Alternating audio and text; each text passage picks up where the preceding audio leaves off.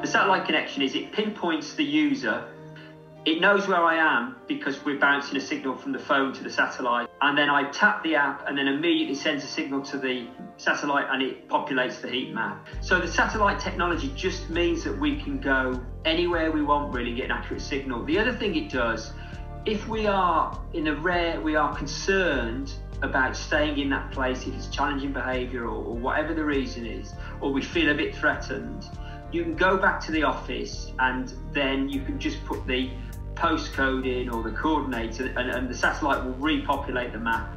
The other thing we do to make it a little bit more subtle is that if you've got one road that's lit up like Blackpool illuminations and you think we really need to have a look at this, then they'll door knock and leaflet both sides of the of that street. And also, people aren't computer literate. They haven't got a phone, or, or, or and some people don't. They can't afford the, the, the, credit.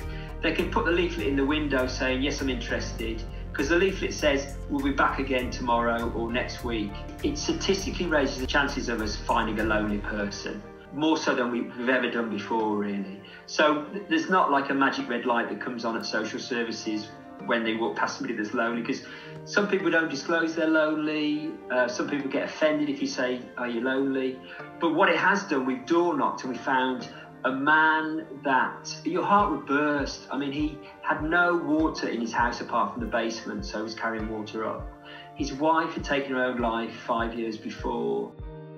He'd never had any proper help with that. He had a cleft palate, so he had a speech impediment so he was not very confident. Slowly, uh, we managed to get him out. And we got the basics right the physiological warmth, heat, water, cleanliness. So that's how it works. It's not a magic wand, it's not a magic bullet.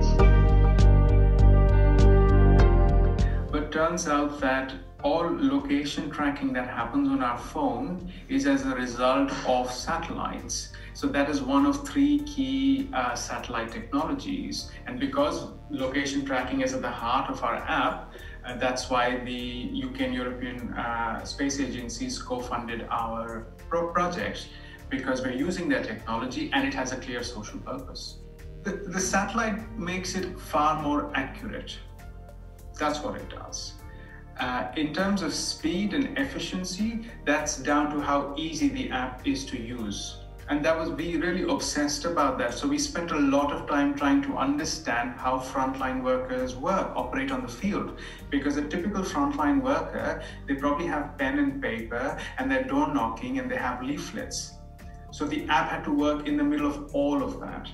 So the satellite is for accuracy and the efficiency and speed is down to the design of the app the project began in 2016 and we've been trialing it uh, in 2018, we were funded by the NHS and it went through a rigorous trial.